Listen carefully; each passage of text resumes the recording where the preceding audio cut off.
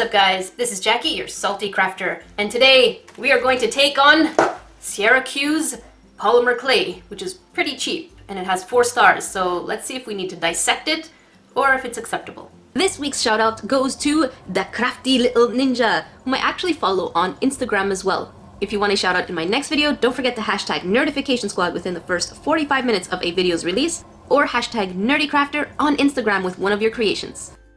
I have a challenge for you guys! I am challenging you to submit your ugliest created pieces. And I'm saying this like, don't create something pretty and then send it in. I want you to create the weirdest thing that you can, and I'm going to feature them and make commentaries on them. So please make sure that when you're submitting, you are sure that this is going to be salty crafter style commentary and not necessarily a nice review. So if you want to do that, you're going to send it to saltycrafter at gmail.com or the hashtag ugly with an E, polymer clay, on Instagram. So as you can see here, this little guy was created in a live stream, and uh, it is absolutely atrocious. It has its charm, but, you know, it's, uh, it's quite the thing. I don't know what you guys were on during the live stream, but this is what you asked me to do. This product was actually recommended to me on Amazon, and it is pretty cheap. I don't know why the Canadian version went absolutely ridiculous. I bought it for $16 at Canadian. And when I checked today, it was actually $54, which makes no sense whatsoever, so that is, that is getting me pretty salty already. I have no idea what colors are in there, but just looking at the front, these are holy neon colors. Oh wow, that is, that is vibrant. That is really vibrant. It's looking a little plasticky in terms of the color, but let's take them out and look at them. We have kind of a purple, green, black, a fleshy tone, and then some super, super vibrant colors in between. It seems like a really good selection of color, but I just kind of touched it and it has like this wet feel to it. So we're getting about 24 colors, which means that every block should be more or less about 63 cents, but we're getting small blocks. I'm really curious how, how heavy each piece is. So to do that, I brought a scale. Normally a 2 ounce bar, which is standard for polymer clay, is about $2.50 if you get it at the right price and not the overly inflated price of Michael's. So I'm curious. So 2 ounces are about 57 grams. Let's see how many grams this little guy is. So it is 14 grams. Let's, let's do a little math over here. So if we have 56 grams divided by 14 equals 4. So we can fit four of these guys into a normal block of clay. So remember, this is thicker and longer. Get your heads out of the gutter. So this is literally four times the actual size of this little guy. And we're talking about each piece being about 63 cents. So if we were to do 63 cents times 4, each block is actually approximately the same price as an actual block of polymer clay. So is it actually a cheaper, che cheaper, is it actually a cheaper alternative? The answer is no, actually, surprisingly. I honestly thought this would be way more cheap as an alternative and that's why I bought it because I was like, oh my gosh, this is so much cheaper. I thought this would be one ounce per block and not 14 grams.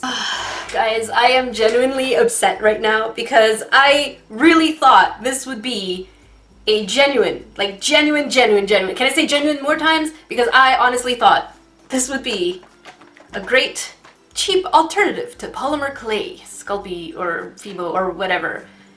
I didn't know it was so light. So price is not a factor. All right, so let's grab one of the colors. I'm going to take black because why not?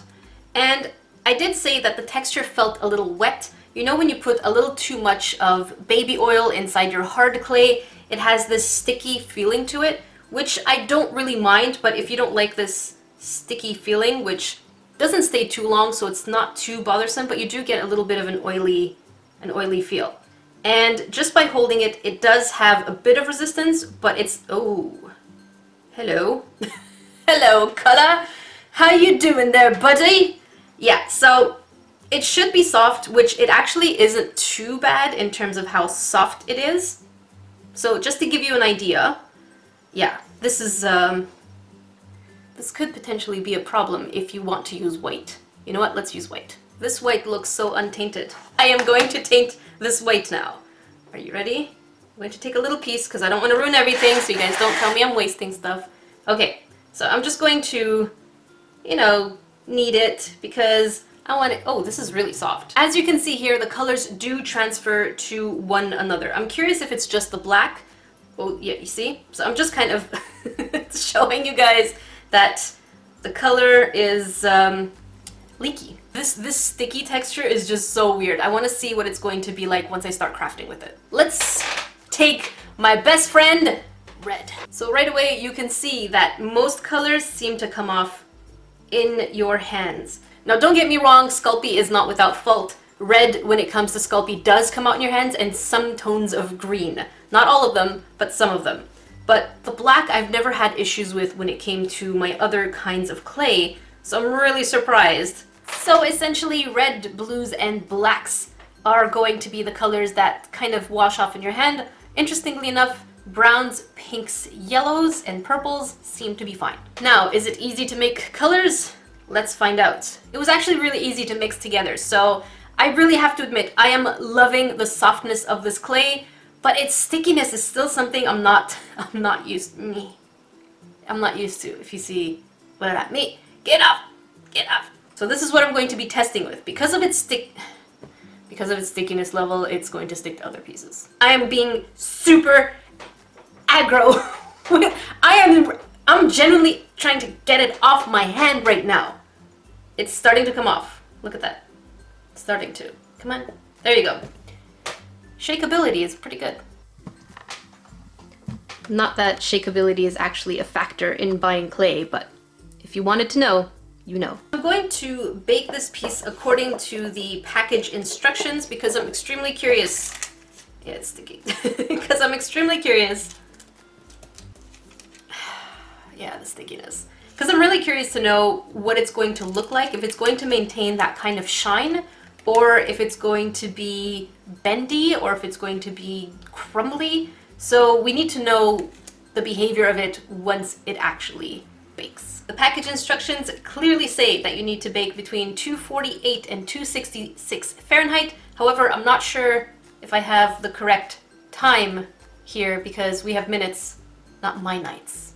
So I'm gonna try for minutes and see if that's the same as my nights. Of all the creatures on this box, my favorite is this guy. Okay, so here it is baked and I want to show you guys that it is actually still shiny, which is really interesting. Here, let me show you. So, I know you can't, see, there you go. So you can see, yeah, there's my fingerprint on there. You can see it has this kind of shine to it, which is very reflective. Whoa. And there's an actual piece of polymer clay, which is Sculpey. And as you can see, no reflection. None whatsoever. So this is really neat if you like your pieces super shiny. See that? The black one is Sculpey and the purple one is the CiaraQ. You can see it's actually pretty reflective. Another thing I wanted to test is how bendable is it? So Sculpey isn't bendable. It didn't take that much pressure for me to break it even though I baked it for a long time. CiaraQ. Oh, what? No way! No way! Oh my gosh, this is way bendier. Oh, what? Let's see how far we can bend it before it breaks. Okay, it is really flexible. So if you guys don't know what that means, is that when clay is flexible, just like this one here, that means it's stronger. So the bendability actually makes it way more endurant and a lot less likely to break. So I'm, I'm, pushing, I'm pushing the boundaries here. So this actually is really bendable. I think that is really neat. Let's make something with this. I decided to go with a Valentine's Day theme because I haven't made anything Valentine's in a long time. And is that color on my desk? Well, yes it is. So be careful, keep your desk safe because this clay does release its color. And of course, its stickiness was still there, so my fingerprints and cat hair and all that stuff got onto it. So clean it up with rubbing alcohol and Q-tip when needed. Again, the stickiness came into play because I wanted the water area to be underneath the grass, and I realized that after, and as I was trying to remove it, the clay was like, oh, heck no. So I couldn't remove it and it was permanent, otherwise I would have broken the clay. So I decided to put the water on the outside. For those of you who don't want to use resin, this is another cute way to actually make a water effect without needing that scary epoxy that everyone's scared of.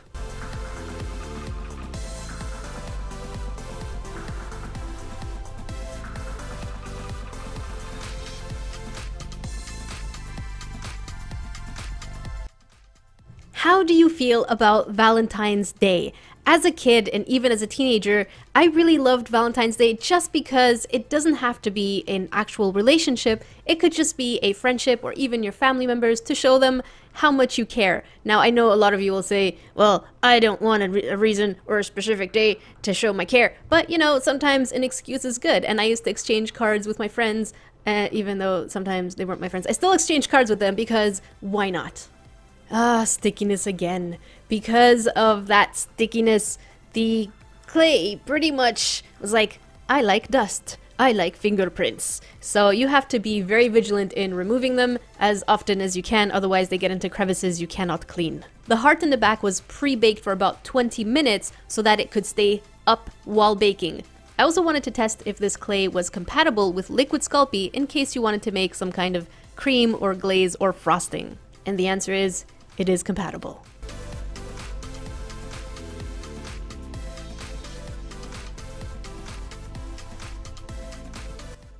As you can see, once it was baked, the heart fell off, so we're gonna glue that later on with a little bit of glue gun. Now let's paint on the details.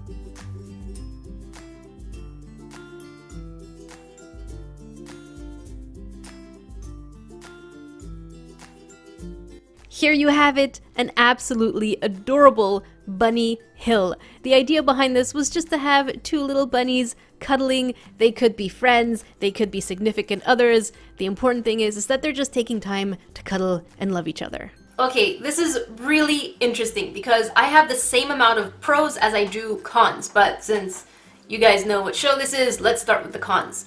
The first one is the price. Because it varies so much from Canadian to US, each block technically would end up being $1.66 US. I've seen polymer clay like Sculpey and Fimo for that price online on American sites. So if you're patient and looking for sales, you can definitely find them for that price.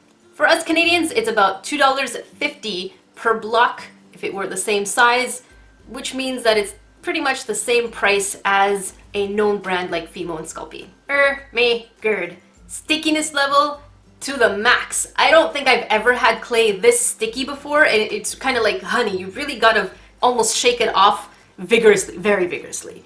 And you can see here, I even tried to hold the bunny very, very gently and my finger got stuck on the face and I couldn't remove it until I was kind of like wriggling it out. So it, it made this impression which causes more fingerprints and dust sticks to it and it almost becomes part of the clay. So you have to keep your place very clean or really kind of just be very, very careful. Now the next one is also because of the stickiness. So this is my, my third, my third annoyance is that because it's sticky, you can't do proper details. What ends up happening is that you're trying to hover pieces over the other just to get your position right and it just gets sucked in and it gets, it, it's just, the stickiness really makes detail really hard. You guys saw this one and it's about the colors coming off on your finger. Colors do come off way more easily than the other brands I've tried. I didn't expect this con, but it was about the heart.